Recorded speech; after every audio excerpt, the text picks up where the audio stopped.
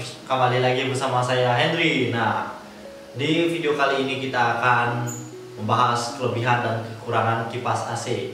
Nah, apakah kipas AC tersebut worth it atau tidak? Mari kita tonton video ini. Sebelum itu jangan lupa like dan subscribe video ini agar kami lebih semangat lagi untuk buat video lebih baru.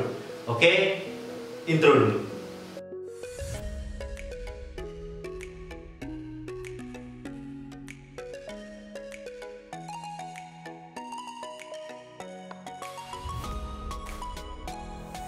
Kelebihan AC minimalis ini adalah instalasinya sangat mudah.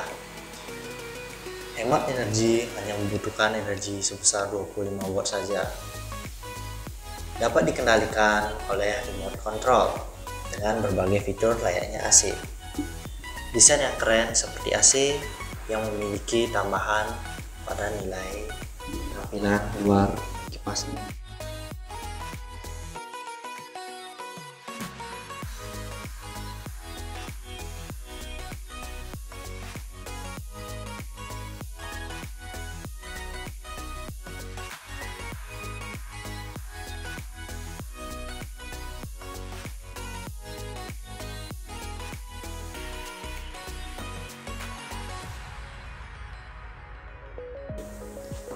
Memiliki filter untuk menyaring-nyaring debu agar debu tersebut tidak masuk ke angin kita.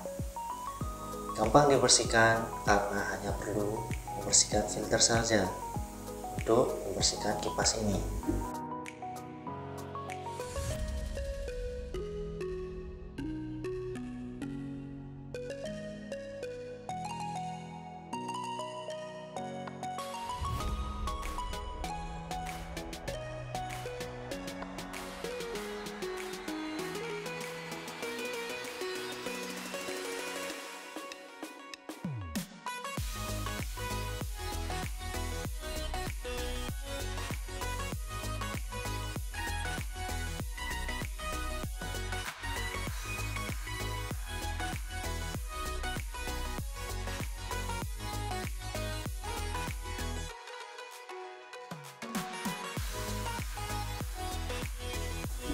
serta dapat diisi gel pendingin agar angin yang dikeluarkan lebih dingin lagi.